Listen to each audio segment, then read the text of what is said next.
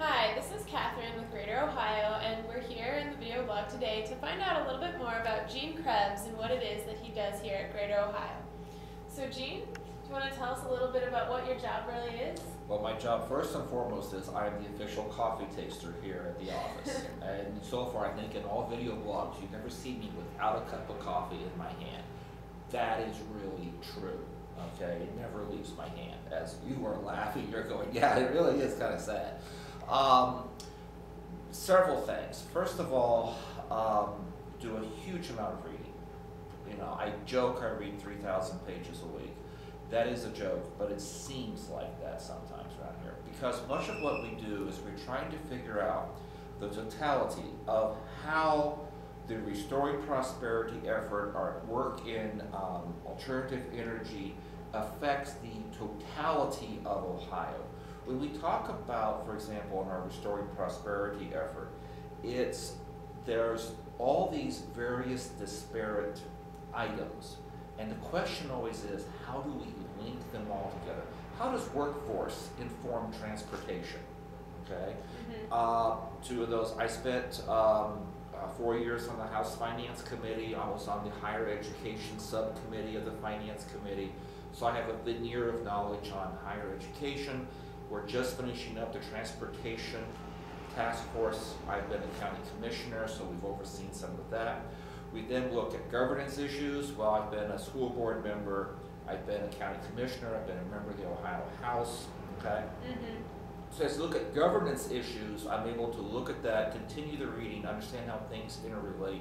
And then when you look at our issues then regarding neighborhood revitalization, uh, Greater Ohio was the, along with our partners at Heritage Ohio, were the two groups that initially promulgated and pushed for the state historic tax credit for rehabilitation.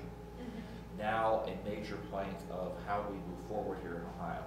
So as we as we look at the issues that we're dealing with here, much of my role is to try to help provide that, you know, where the connecting threads, and of course drinking the coffee. And how did you come to Greater Ohio? Back in 1997, uh, then Governor Voinovich appointed myself uh, to the Farmland Preservation Task Force. And um, uh, out of that effort, uh, I, you know, it, it was when I really started to realize about the importance of land use for the economic vitality of Ohio. Um, it's also where I met one of my very, very, very best closest friends, current ODNR director, Sean Logan. Okay. And uh, we were in the house together, we were county commissioners, some counties on the opposite sides of the state, we always stayed in touch. And, um, uh, but both of us, in effect, got our beginning in this whole land use quality of life issue. And you go back to that Farmland Preservation Task Force report, I'll end with this.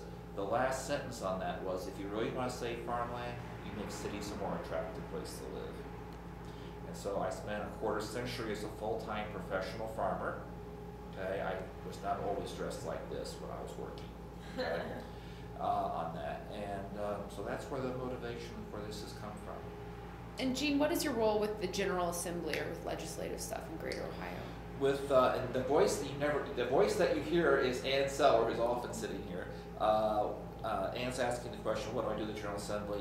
I monitor the legislation, um, take a look at it. We um, we really do not lobby per se as, as commonly thought of because of the fact we are a 501c3.